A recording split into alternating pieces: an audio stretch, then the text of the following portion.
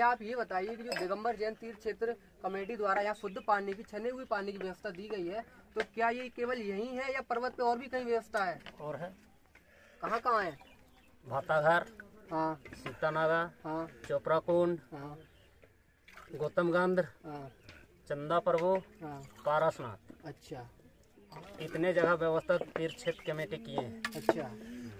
तो जैसा कि आप लोगों ने सुना कि कम से कम पर्वत पे पाँच से छह जगह जहाँ से हम शुरुआत से चढ़ते हैं और आखिरी पारसनाथ भगवान की टोंक से उतरते हैं तो वहाँ से अगर हम पानी स्टोर करेंगे, अपनी बोतल में अगर छान के भर लेंगे तो हमें किसी भी एक भी बिस्लरी की बोतल की ज़रूरत नहीं पड़ेगी और पूरा पर्वत जो एक दिन में कम से कम हज़ार बोतल इस पर्वत पर फेंकी जा रही है उन पर्वत वो पूरा पर्वत हमारा सुरक्षित हो जाएगा और ये प्लास्टिक पॉल्यूशन फ्री हो जाएगा। इसलिए आप सभी को कम से कम इतना तो ध्यान ज़रूर रखना है कि हम लोगों को शुद्ध छना हुआ जल पीना है और किसी भी प्रकार की बोतल का पॉल्यूशन अपने पर्वत शिखर पर नहीं करना है। ये पर्वत हम जैनों का है और इसकी गर्मा हम जैनों के ही हाथ में है और इसको बचाने का पूरा अधिकार हम जैनों का ही है।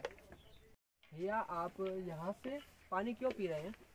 जी भैया इधर पे पानी पीने की दो वजह है। पहली चीज़ तो चूँकि अपन लोग जैन है तो अपन के लिए शुद्ध जल मिल रहा है छना हुआ जल मिल रहा है सबसे बड़ी बात।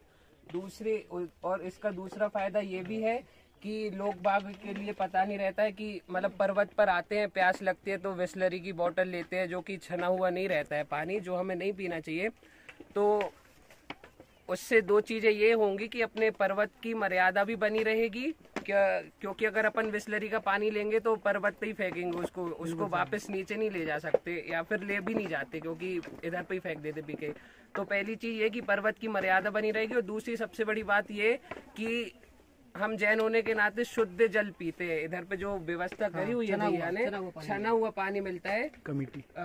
जो कि इसी चंद प्रभु टोंग पे- प्याऊ यहाँ पर पीने की शुद्ध जल उपलब्ध होता है तो व्यवस्था ये दिगंबर जैन तीर्थ क्षेत्र कमेटी द्वारा की व्यवस्था की गई है। व्यवस्था की गई है। तो इससे बिस्लरी की बोतल बिकना बंद हो जाएँगी कम हो जाएँगी बंद हो जाएँगी। और सबसे बड़ी बात अपन को शुद्ध जल मिलेगा इधर पे पीने के लिए। बहुत